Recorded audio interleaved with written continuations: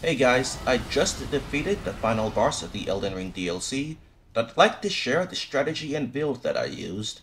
Now keep in mind, I'm currently on New Game Plus 2, and use the timestamps to skip between the build breakdown, as well as the strategy explanation and the boss fight.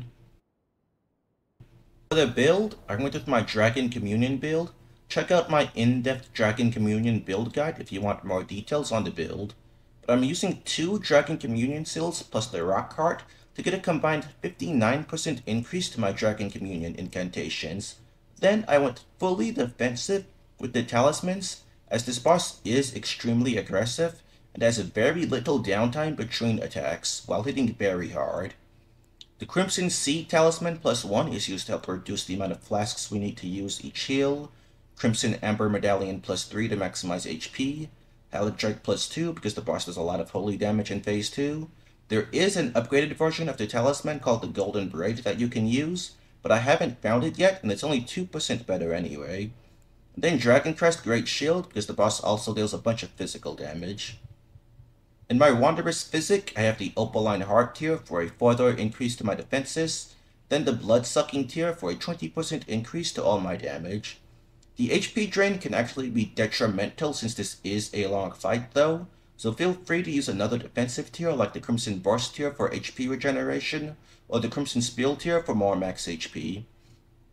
For my stats, I have 60 Vigor, 57 Mind, 20 Endurance, 52 Faith, and 99 Arcane.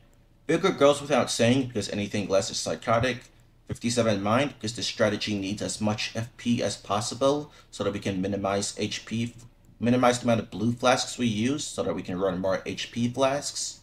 Then the Arcane and Faith are to maximize the incantation scaling of the seal. If you're playing on base new game, you probably are much lower level than me, so for level 150, I would aim for a stat spread similar to what I have shown here. Then the incantation setup is Blessing of the Erdtree, Golden Vow, Bayle's Tyranny, Dragonmaw, Lord's Divine Fortification, Scarlet Aeonia, and Flame Grant Me Strength.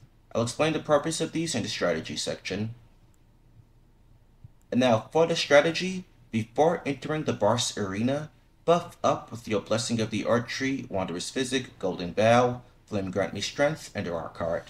Blessing of the Erdtree will help mitigate the HP drain of the Blood Sucking tear, but if you aren't using the Blood Sucking tear, the HP restoration of this incantation will still be important to use to reduce the amount of flasks you need to chug.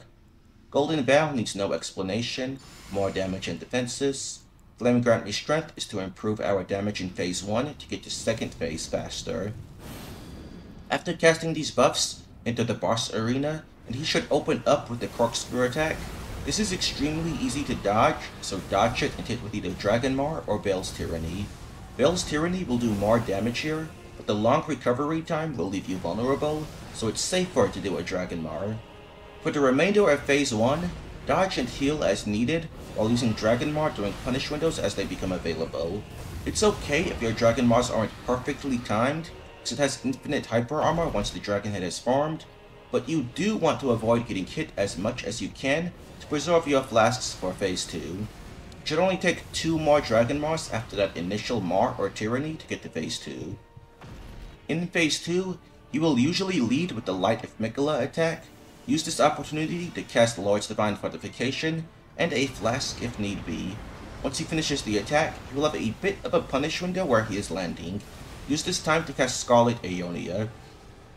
If everything goes according to plan, Scarlet Rot will apply, but if something goes wrong for whatever reason, look for another punish window to cast it again, and you should definitely get the Rot this time. Having the Scarlet Rot applied is important, since this is a long fight against a boss with high HP. If you don't mind using Spirit Summons for the fight, then use Ekzykes's Decay instead of Scarlet Aeonia, casting it as your summon holds aggro. This would be better than Aeonia, as Ekzykes's Decay will do substantially more damage than Aeonia, in addition to the Rot. Once Scarlet Rot is applied, avoid the boss's attacks to the best of your ability while casting Dragonmaw during the safest times to do so.